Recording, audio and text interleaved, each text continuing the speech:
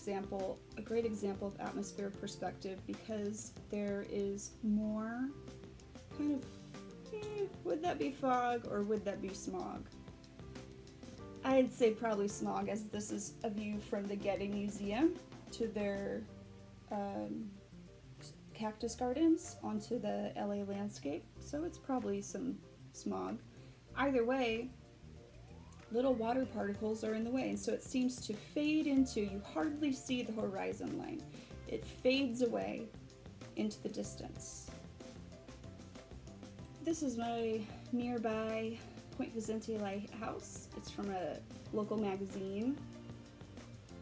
I thought that you might be able to access some magazines and make some work from there. So I'd want to give you an example of how to scale up.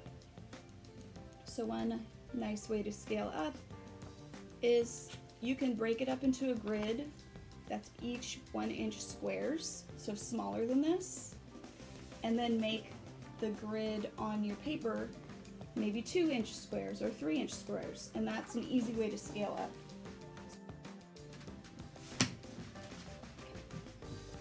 So let's find this orange. It'll be more vibrant, but we will add tint tones and shades as we move along, and you can change the color just a little bit to make it a tiny bit more green too. This yellow is not very strong, so I'll add some more. So I'm just matching to that orange.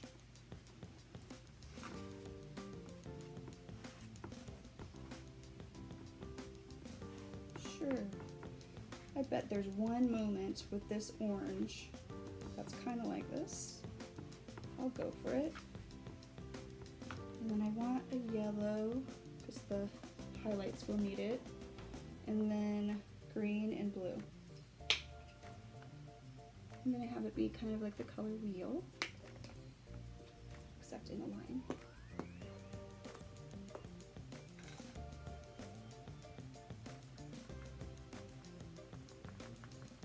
green, there's some yellow greens, there's more pure greens.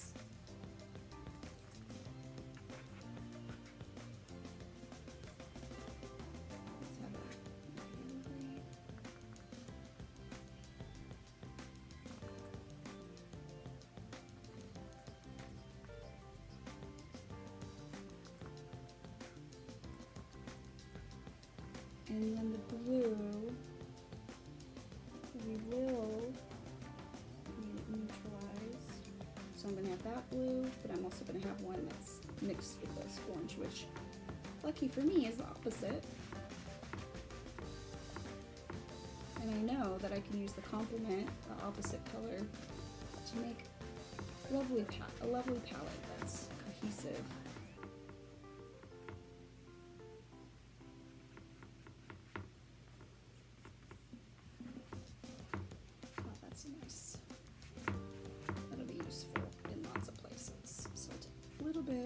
With the blue and start tinting things.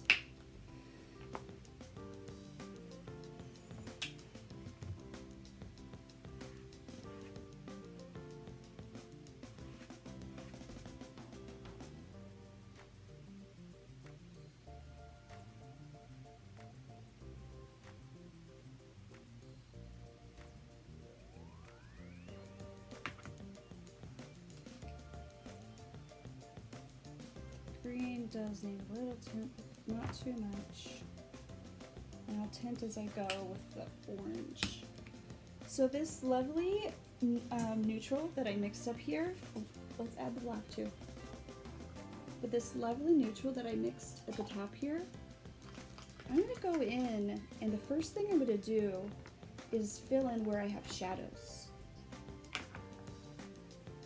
And that is often called an underpaint, underpainting.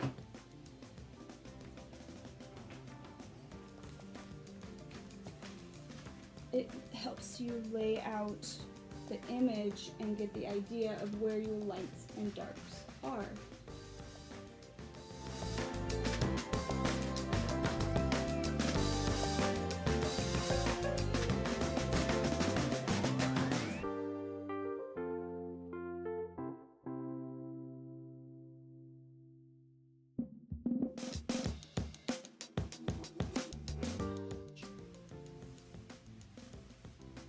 Probably I'll use that in the background of the sky too. So we start with the foreground for the underpainting because that's where the darkness is. But once we really start painting, we work back to front. That's a traditional mode of painting, particularly with landscaping. So I'd like you to try it. Easy to get excited about the details of a piece and jump into those. Yet, the layering has a more realistic effect if you work back to front once you're on, onto the regular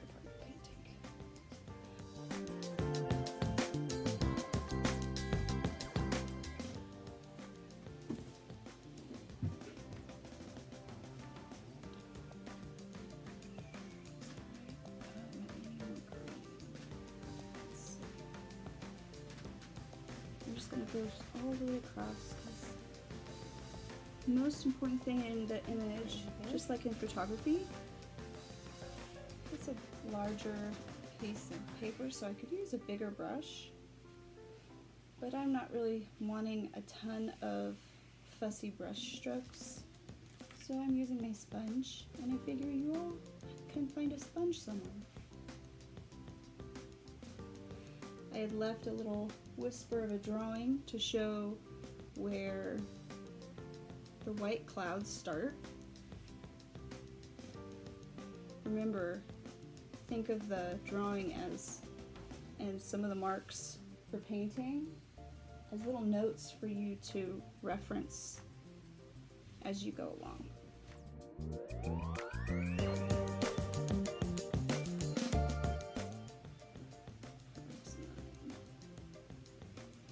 Both on the ocean. Put it through all of it and I'll repaint the foreground. I'm just doing it light enough, transparent enough, so I can still see where my drawing sits on the canvas or paper as it were. See, that white has kind of a yellow blue. I'll neutralize it. Let me show you what I'm doing.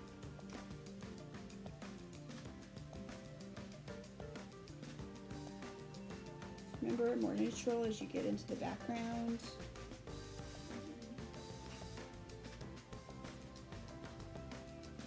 So that means tinting is a great way to neutralize as you get into the background.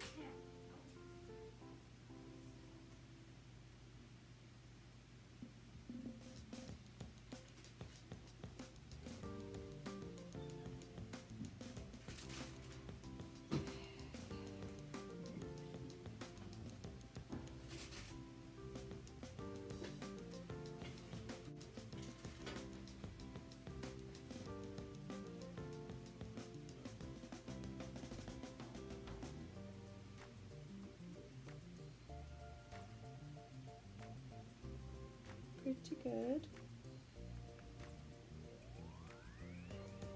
I may start defining this tree more. You could use pure white and then paint over it to get it just the right tone of the background.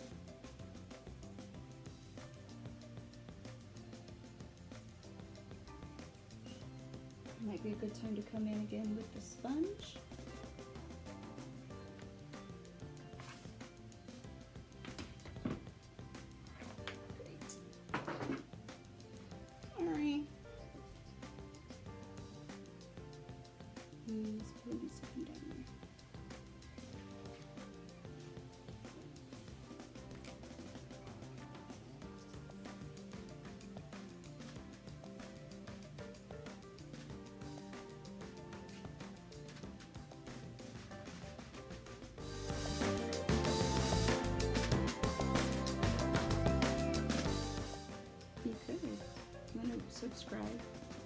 Channel? You need to come up with a, a name for my subscribers. You need to help me out. Paint artist.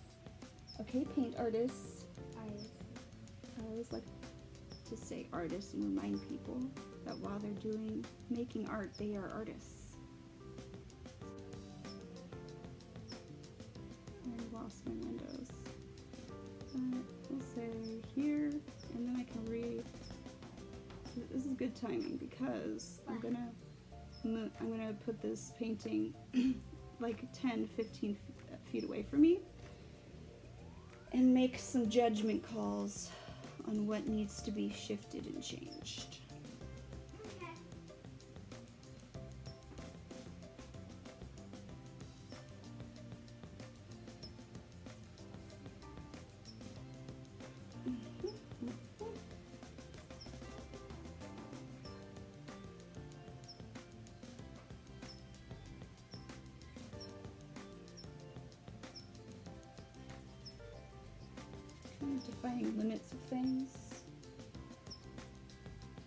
I'm interested in doing right now. This is the bottom of the brush where it goes down the cliff side.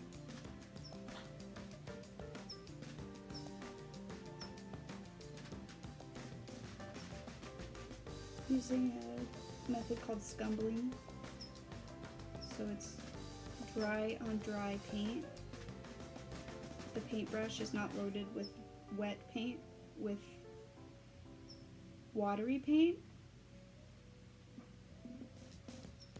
So it's dry on dry scumbling. Offers you te texture, so you'll have more texture in the foreground. This is more in the middle ground, but it is my focal point, so I'm going to allow it to have a little bit more texture than other objects in my middle ground. And I'll probably make it less of a dark value as I work on the painting. So let's see. It's pretty dry. Is it gonna drip? Yeah, that one spot's gonna drip. I don't really mind drips. I'll put it about 15 feet away, okay? So I'm gonna put it here. Here. I'll put it here, I'll stand 15 feet away